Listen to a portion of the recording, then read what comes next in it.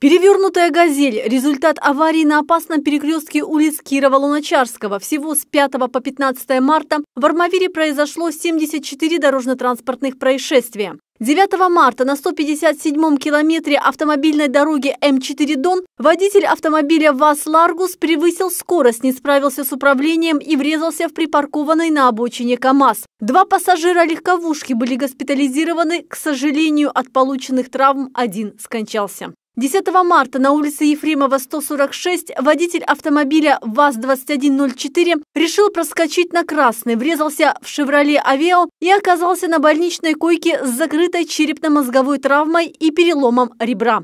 14 марта на улице Розы Люксембург водитель автомобиля Toyota Тундра нарушил правила дорожного движения и также спровоцировал аварию.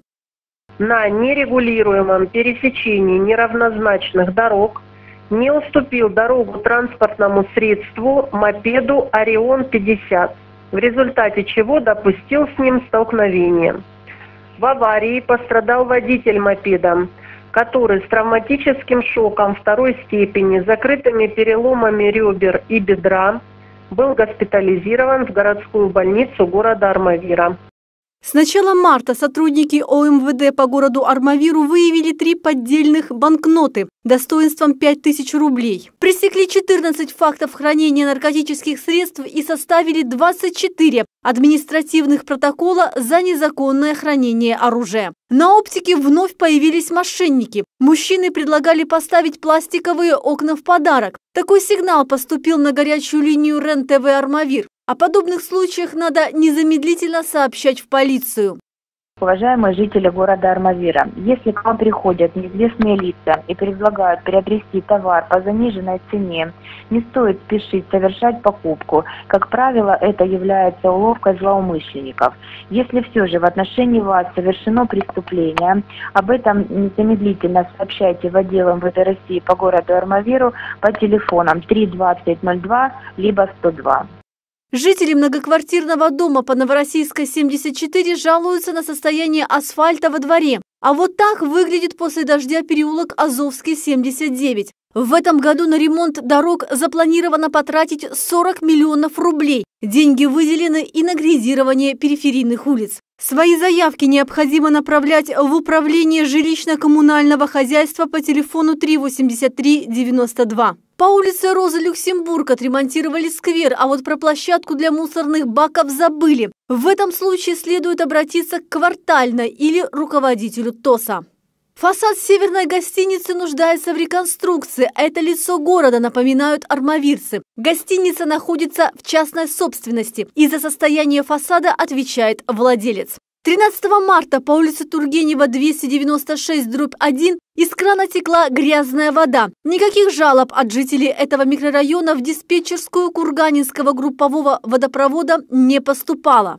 В таких случаях по звонку граждан по телефону 33242 на место тут же выезжает лаборатория. В настоящее время ситуация нормализовалась.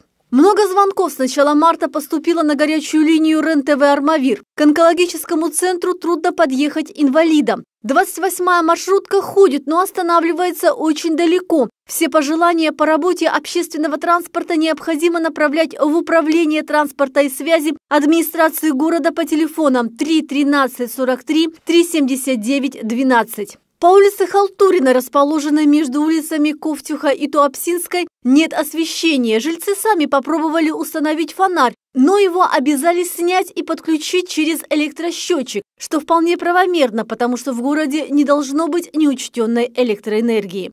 Жители многоквартирного дома по адресу Шмидта 9 получили предписание поменять уже установленные электросчетчики. По данному вопросу отправлен официальный запрос в Армавирский филиал компании «Неск Электросети».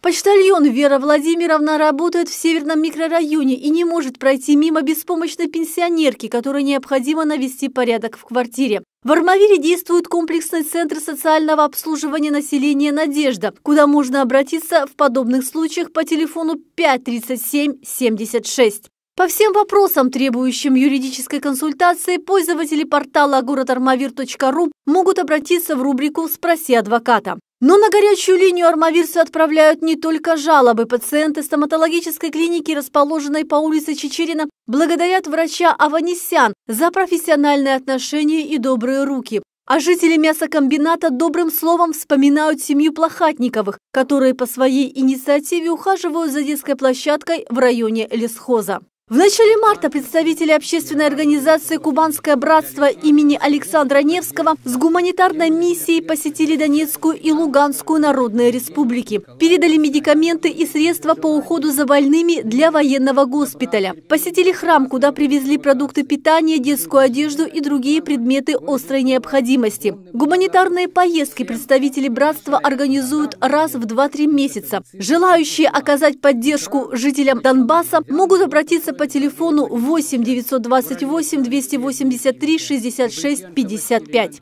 Армавирские каратисты заняли весь пьедестал почета в Лабинске на открытом первенстве по Киокусинкай. Лучшими оказались Даниил Суетнов, Андрей Мельник, Карла Старвердян и Панкова Елизавета. Юниоры заняли первое, второе и третье места. Наши теннисисты одержали победу на открытом чемпионате Южного федерального округа, который проходил в Сочи. Воспитанница спортшколы «Лидер» Юлия Кизельбашева в паре с Артемом Доценко из Краснодара заняла второе место. А мы напоминаем, что на портале городармавир.ру продолжается фотоконкурс «Счастливы вместе». Присылайте ваши фотографии и love story и выигрывайте призы. Прием фотографий завершится 20 марта в 12 часов. Лариса Юровская, Артур Карджанян, служба информации телеканала РЕН-ТВ «Армавир».